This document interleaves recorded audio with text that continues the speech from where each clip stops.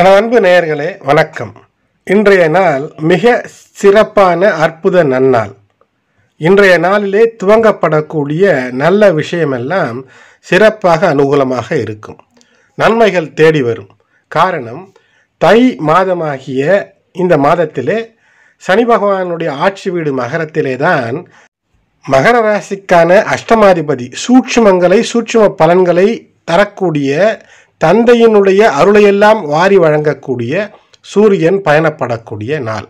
இந்த நாளிலே மாலை வேளையிலே பௌர்ணமியை தரிசிப்பது சத்யநாராயண பூஜை மேற்கொள்வது அல்லது பூஜை மேற்கொள்ளக்கூடிய இடங்களிலே சென்று வழிபடுவது குறிப்பாக முருகன் ஆலயங்களிலே மிக சிறப்பான வழிபாடுகளிலே பங்கேற்பது மாலை வேளையிலே சந்திரனை தரிசிப்பது சந்திரனுக்கான தரிசனம் செய்து கையிலே ஒரு உலோக நாணயம் தங்கம் அல்லது வெள்ளிக்காயின் இல்லை என்றால் இருக்கக்கூடிய ஐந்து ரூபாய் பத்து ரூபாய் காயினை கையிலே வைத்து வணங்கி அந்த அருளை பெறுவது. இப்படி சந்திரன் உங்களுக்கு அற்புதங்களை நிகழ்த்துவார். ஏனென்றால் சனியினுடைய நட்சத்திரமான பூச நட்சத்திரத்திலே இருக்கக்கூடிய அந்த பலன். சூரியனும் சனியினுடைய ஆட்சி வீடு மகரத்திலே. சந்திரனும் எங்கிருக்கிறார் பூச நட்சத்திரத்திலே. தை மாதமாகிய மகரத்தில் சூரியன் சனியினுடைய வீட்டிலே இருக்க நேர் எதிராக கடக மகர வீட்டுக்குரிய சனி பகவானுடைய பூச நட்சத்திரம். அங்கு சந்திரன்.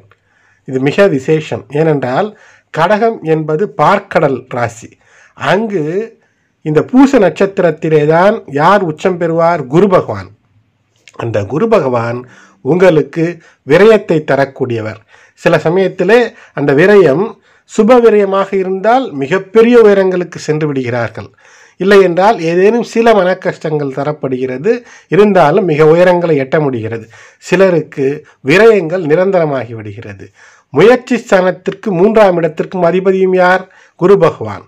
தேவகுரு இங்குதான் உச்சம் அடைவார் எங்கு? பூச நட்சத்திரத்திலே. அப்படி என்றால் மகர ராசிக்கு வாழ்க்கையிலே உயர்வை பெறுவதற்கு இந்த சந்திரனுடைய இந்த பூர்ண பௌர்ணமி இந்த முழு பௌர்ணமி தரிசனம் மிக சிறந்தது. தந்தைக்கு உபதேசம் செய்த முருகனுக்கு இந்த பூச நட்சத்திரம் மிக சிறந்த நட்சத்திரம் ஆகினால்தான் தைப்பூசம்.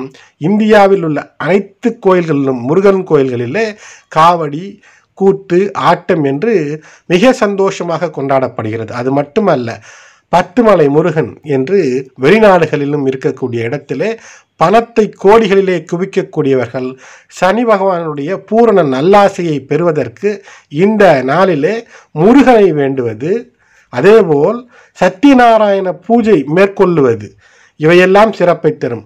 இதற்கு முழுமுதற் கடவுள் விநாயகனை வேண்டி உங்களுடைய வழிபாட்டை துவங்கும் போது இந்த நாளிலே பௌர்ணமி அன்று மாலை வேளையிலே அந்த பௌர்ணமி தரிசனத்தை செய்வதற்கு உலகத்திலே நீங்கள் எங்கிருந்தாலும் செய்ய முடியும் அல்லவா ஆகையினால் இது ஒரு எளிய வழிபாடு. தரணியெங்கும் கொண்டாடப்படக்கூடிய தைப்பூசம் இந்த தைப்பூச நன்னாளிலே உங்களுக்கு அற்புதங்கள் நிகழக்கூடிய அமைப்பு. சனி பகவானுடைய நட்சத்திரமாக சொல்லப்படக்கூடிய பூசம் அனுஷம் உத்திரட்டாதியிலே பூசம் குரு பகவானுடைய உச்ச வீடு. பூசம்தான் குரு பகவான் அவதாரம் செய்த நட்சத்திரம். ஆகையினால் பன்னிரெண்டுக்கும் மூன்றுக்கும் மகரத்திற்கு அதிபதியாக இருக்கக்கூடியவரை நீங்கள் இந்த நாளிலே கிரகித்து கொள்வது மிக சிறப்பு. ஆகையினால் இந்த வேண்டுதலை தவறாமல் செய்யுங்கள். மேலும் இந்த காலகட்டத்திலே ஐந்தாம் இடத்திலே இருக்கக்கூடிய செவ்வாய் அந்த செவ்வாய் பகவான் நீச்சம் பெறக்கூடிய இடம். ஆகையினால் கோபதாபங்கள் காரணமாக மனதிலே இருக்கக்கூடிய சில்மிஷ கல்மிஷ எண்ணங்களை எல்லாம் துடைத்து எறிவதற்கும் இந்த நாளிலே நீங்கள் மேற்கொள்ளக்கூடிய பூஜை உங்களுக்கு வரங்களை தேடி வந்து தரும். சண்டை சச்சரவு பழிவாங்கும் குணம் போன்ற எந்த விதமான கெட்ட குணம் இருந்தாலும் கூட தானாக உருவாகி இருந்தாலும் கூட மற்றவர் உங்களை அப்படி ஒரு நிலைக்கு தள்ளி இருந்தாலும் கூட அவையெல்லாம் மாறாக அன்பாக கருணையாக இரக்கமாக மற்றவர்களுக்கு உதவக்கூடிய குணமாக உதவும் போது உங்களுக்கு பிரச்சனை வராத அளவிற்கு ஒரு நிலையாக தான தர்மம் தரக்கூடிய ஒரு அமைப்பு தன்னலம் கருதாமை என்று மிகப்பெரிய உயரத்திற்கு உங்களை இழைத்து செல்லக்கூடிய இழுத்து செல்லக்கூடிய என்று ஏன் சொல்கிறேன் என்றால் விதிவசத்திலே உங்களுக்கு நல்லதை தரக்கூடியது. இந்த நாளிலே பூச நட்சத்திரத்தில்தான் செவ்வாய் நீசமடைவார் குரு உச்சமடைவார். அது சனி பகவானுடைய நட்சத்திரம். ஆகையினால் சனி பகவானுடைய பூரண நல்லொருளை பெறுவதற்கு இது மிக ஏற்ற காலம். இப்போது சூரியன் வேறு முழு பலத்தையும் எங்கு தருகிறார் சந்திரனுக்கு? சூரியன் தான் இப்போது ஆட்சியில் இருக்கிறார். உங்களுடைய ராசிநாதன் மறைந்திருக்கிறார். மொத்த பவரையும் அவருடைய அதிகாரையும் எல்லாம் சூரியனுக்கு தந்திருக்கிறார். ஆகையினால்தான் சனி அஸ்தமனம் ஆகியிருக்கிறார். சிலதிலே கவனமாக இருங்கள் என்று ஒரு பதிவையும் தந்திருக்கிறேன். இப்படிப்பட்ட அற்புத நாளிலே எதுவும் முடியவில்லை என்றால் மாலை வேளையிலே சந்திரனை பார்த்து கையெடுத்து கும்பிட்டு அருகிலே இருக்கக்கூடிய விநாயகர் கோயிலுக்கு சென்று வர முடிந்தால் செய்யுங்கள். இல்லை என்றால் இல்லத்திலேயே உள்ளத்திலேயே விநாயகனை வழிபட்டு இந்த மகர ராசிக்காரர்கள் இதை தவறவிடாதீர்கள் ஏனென்றால் தேடி வரும் நன்மைகள். அதனால் கோடிகள் வந்து பொற்காலமாய் மாறும்.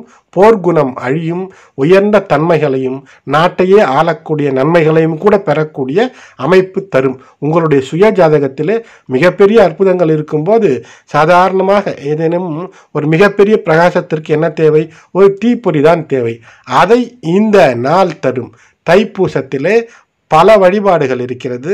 அதில் எல்லாவற்றையும் செய்ய முடியவில்லை என்றாலும் மாதுளையை நினைப்பது சத்யநாராயணனை நினைப்பது சந்திரனை தரிசிப்பது முருகன் நினைப்பது முருகனை வழிபடுவது விநாயகர் வழிபாடு அதோடு கூட இயற்கையாகவே செவ்வாய் குரு சனி பகவான் சூரியன் எல்லோருடைய ஆசையும் வந்துவிடும்.